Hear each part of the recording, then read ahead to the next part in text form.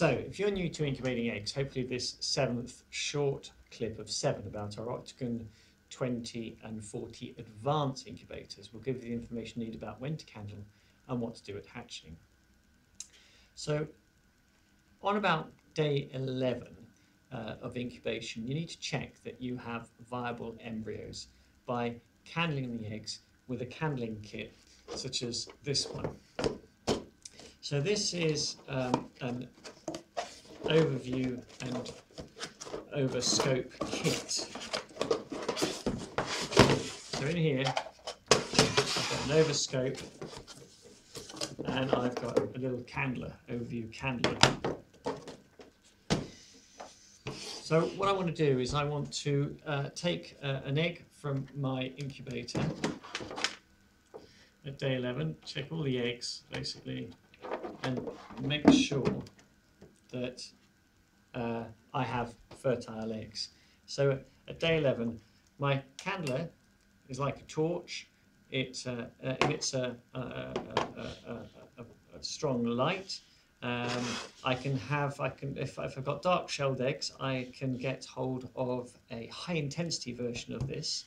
Uh, this simply creates a dark environment in which to check the eggs. So I put that on top of my candler, I put my egg inside, I put the little cap back on, and this little piece of kit uh, allows you to both to rotate the eggs within the OvaScope and also creates a certain level of magnification. So when you look down here, uh, you can get an indication of how the egg is progressing in, in, in its development.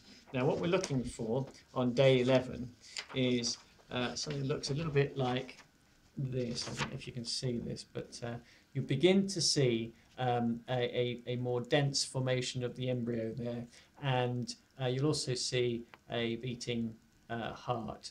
Um, so if you're not seeing that by day 11, it's an indication that you haven't got um, a fertile egg, or for some reason the, the embryo has died before it's got to that point. And a, a blood ring is usually a good indication of um, an egg that uh, has the embryo has died. So um, eggs that aren't fertile, uh, we want to remove because uh, those eggs can have an impact on the development of the other eggs around it.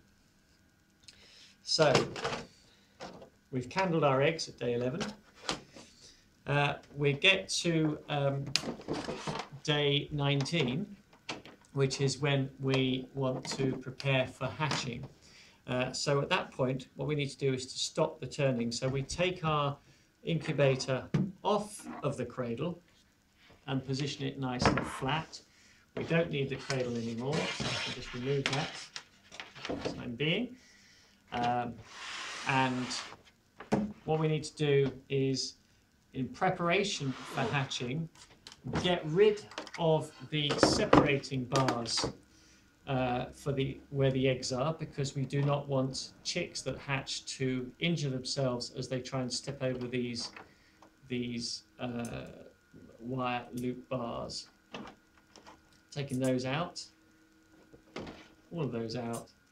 Okay, so that's removed those, ready for hatching.